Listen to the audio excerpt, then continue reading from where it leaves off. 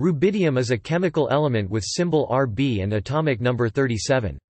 Rubidium is a soft, silvery white metallic element of the alkali metal group, with a standard atomic weight of 85.4678. Elemental rubidium is highly reactive, with properties similar to those of other alkali metals, including rapid oxidation in air.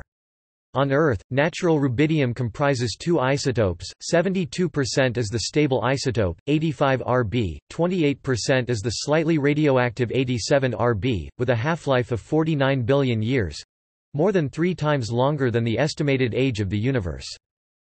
German chemists Robert Bunsen and Gustav Kirchhoff discovered rubidium in 1861 by the newly developed technique, flame spectroscopy. Rubidium's compounds have various chemical and electronic applications. Rubidium metal is easily vaporized and has a convenient spectral absorption range, making it a frequent target for laser manipulation of atoms. Rubidium is not a known nutrient for any living organisms. However, rubidium ions have the same charge as potassium ions, and are actively taken up and treated by animal cells in similar ways.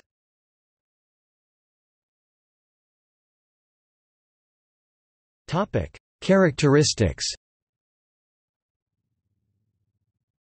Rubidium is a very soft, ductile, silvery white metal.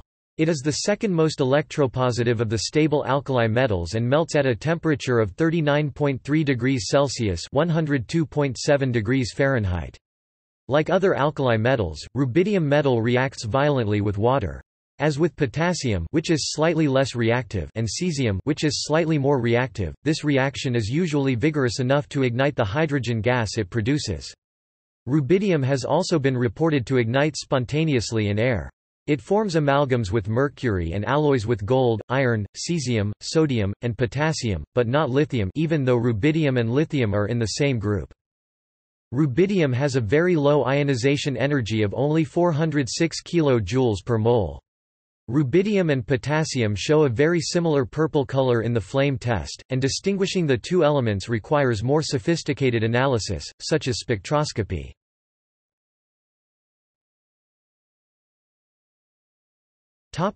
Compounds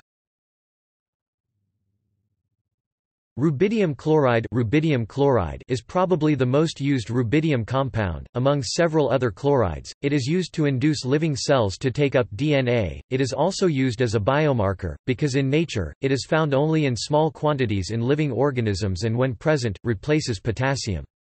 Other common rubidium compounds are the corrosive rubidium hydroxide RBOH, the starting material for most rubidium-based chemical processes, rubidium carbonate, rubidium carbonate used in some optical glasses, and rubidium copper sulfate, rubidium sulfate copper 2 sulfate 6H2O.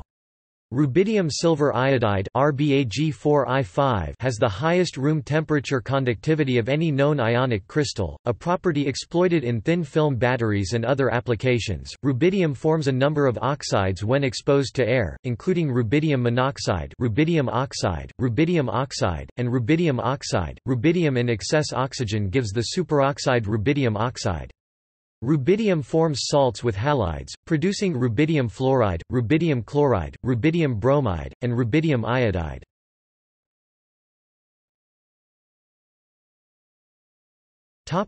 Isotopes Although rubidium is monoisotopic, rubidium in the Earth's crust is composed of two isotopes, the stable 85 Rb (72.2%) and the radioactive 87 Rb (27.8%). Natural rubidium is radioactive with specific activity of about 670 becquerels per gram, enough to significantly expose a photographic film in 110 days. 24 additional rubidium isotopes have been synthesized with half-lives of less than 3 months. Most are highly radioactive and have few uses.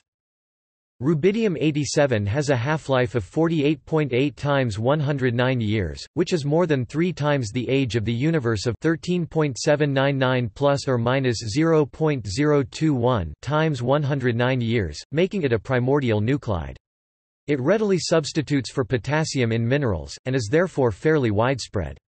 Rb has been used extensively in dating rocks. 87 Rb beta decays to stable 87 senior.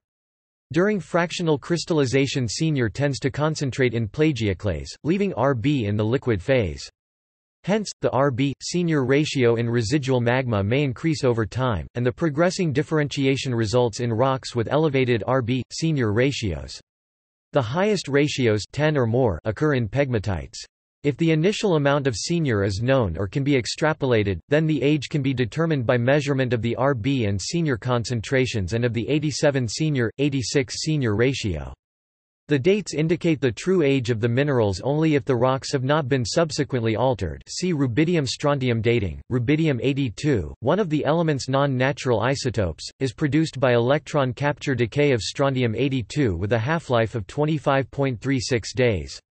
With a half-life of 76 seconds, rubidium-82 decays by positron emission to stable krypton-82.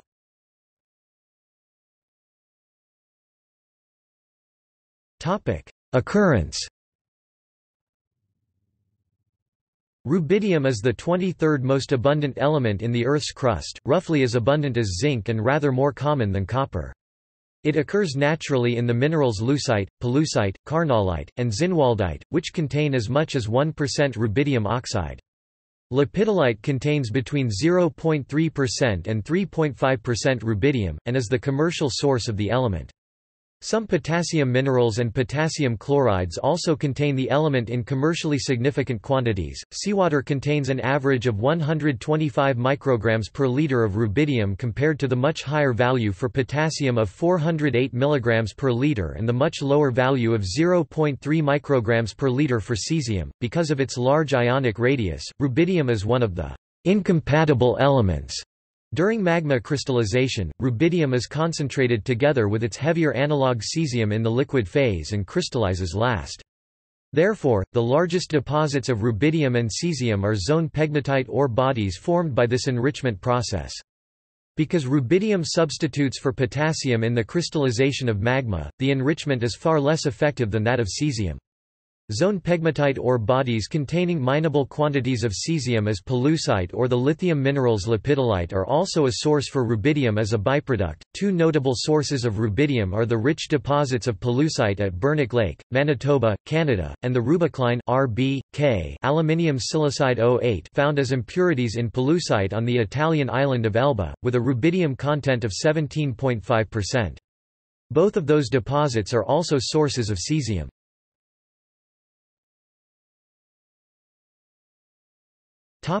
Production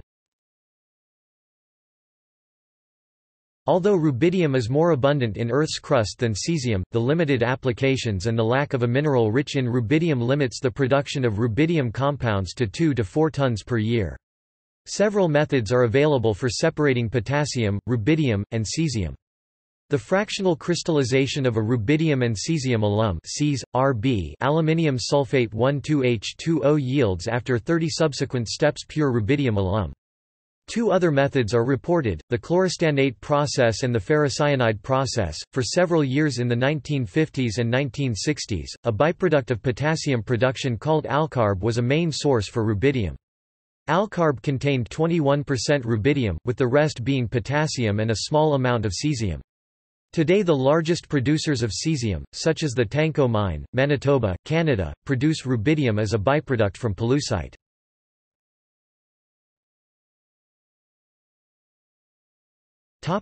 History Rubidium was discovered in 1861 by Robert Bunsen and Gustav Kirchhoff, in Heidelberg, Germany, in the mineral lepidolite through spectroscopy.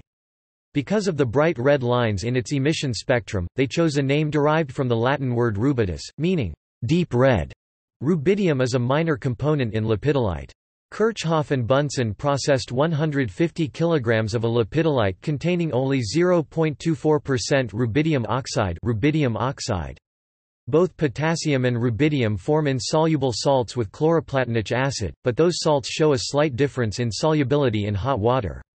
Therefore, the less soluble rubidium hexachloroplatinate Rb2PtCl6 could be obtained by fractional crystallization. After reduction of the hexachloroplatinate with hydrogen, the process yielded 0.51 grams of rubidium chloride for further studies. Bunsen and Kirchhoff began their first large-scale isolation of cesium and rubidium compounds with 44,000 liters 12,000 US gal of mineral water, which yielded 7.3 grams of cesium chloride and 9.2 grams of rubidium chloride. Rubidium was the second element, shortly after cesium, to be discovered by spectroscopy. Just one year after the invention of the spectroscope by Bunsen and Kirchhoff, the two scientists used the rubidium chloride to estimate that the atomic weight of the new element was 85.36 the currently accepted value is 85.47. They tried to generate elemental rubidium by electrolysis of molten rubidium chloride, but instead of a metal, they obtained a blue homogeneous substance which Neither under the naked eye nor under the microscope showed the slightest trace of metallic substance. They presumed it was a subchloride rubidium chloride, however, the product was probably a colloidal mixture of the metal and rubidium chloride. In a second attempt to produce metallic rubidium, Bunsen was able to reduce rubidium by heating charred rubidium tartrate. Although the distilled rubidium was pyrophoric, they were able to determine the density and the melting point. The quality of this research in the 1860s can be appraised by the fact that their determined density differs less than 0.1 grams per cc and the melting point by less than 1 degree Celsius from the presently accepted values. The slight radioactivity of rubidium was discovered in 1908, but that was before the theory of isotopes was established in 1910, and the low level of activity, half-life greater than 1010 years, made interpretation complicated.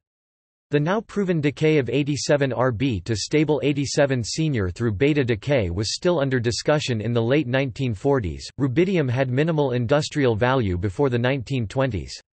Since then, the most important use of rubidium is research and development, primarily in chemical and electronic applications. In 1995, rubidium-87 was used to produce a Bose-Einstein condensate, for which the discoverers, Eric Allen Cornell, Carl Edwin Wieman and Wolfgang Ketterle, won the 2001 Nobel Prize in Physics.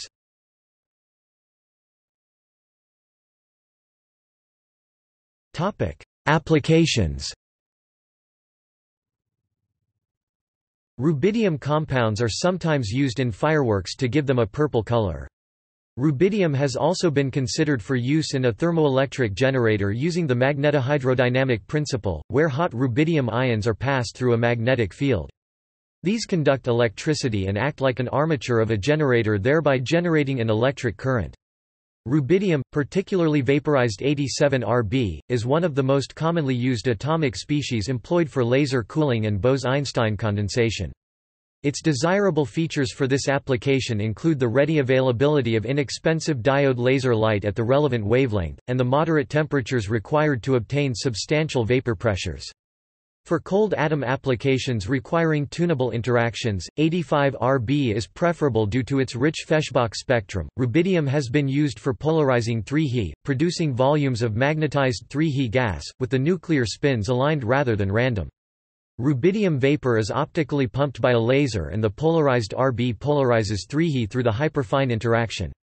Such spin-polarized 3He cells are useful for neutron polarization measurements and for producing polarized neutron beams for other purposes. The resonant element in atomic clocks utilizes the hyperfine structure of rubidium's energy levels, and rubidium is useful for high-precision timing. It is used as the main component of secondary frequency references rubidium oscillators in cell site transmitters and other electronic transmitting, networking, and test equipment. These rubidium standards are often used with GPS to produce a primary frequency standard that has greater accuracy and is less expensive than cesium standards. Such rubidium standards are often mass-produced for the telecommunication industry. Other potential or current uses of rubidium include a working fluid in vapor turbines, as a getter in vacuum tubes, and as a photocell component.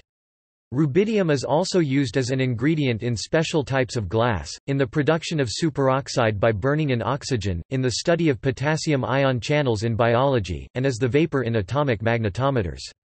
In particular, 87Rb is used with other alkali metals in the development of spin exchange relaxation-free magnetometers. Rubidium-82 is used for positron emission tomography. Rubidium is very similar to potassium and tissue with high potassium content will also accumulate the radioactive rubidium. One of the main uses is myocardial perfusion imaging. As a result of changes in the blood-brain barrier in brain tumors, rubidium collects more in brain tumors than normal brain tissue, allowing the use of radioisotope rubidium-82 in nuclear medicine to locate and image brain tumors. Rubidium-82 has a very short half-life of 76 seconds, and the production from decay of strontium-82 must be done close to the patient. Rubidium was tested for the influence on manic depression and depression. Dialysis patients suffering from depression show a depletion in rubidium and therefore a supplementation may help during depression. In some tests the rubidium was administered as rubidium chloride with up to 720 mg per day for 60 days.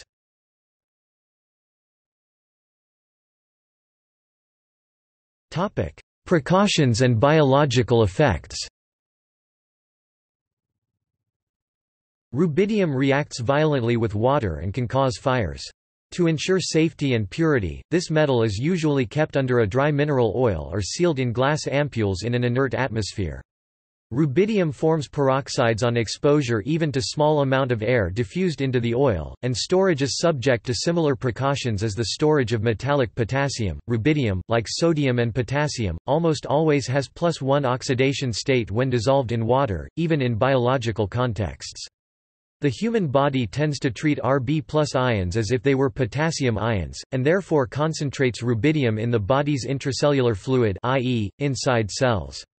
The ions are not particularly toxic. A 70 kg person contains on average 0.36 grams of rubidium, and an increase in this value by 50 to 100 times did not show negative effects in test persons.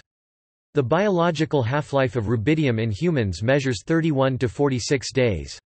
Although a partial substitution of potassium by rubidium is possible, when more than 50% of the potassium in the muscle tissue of rats was replaced with rubidium, the rats died.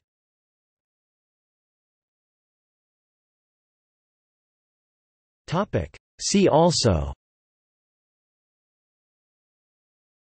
Electron configuration Electron configurations of the elements data page Periodic table electron configurations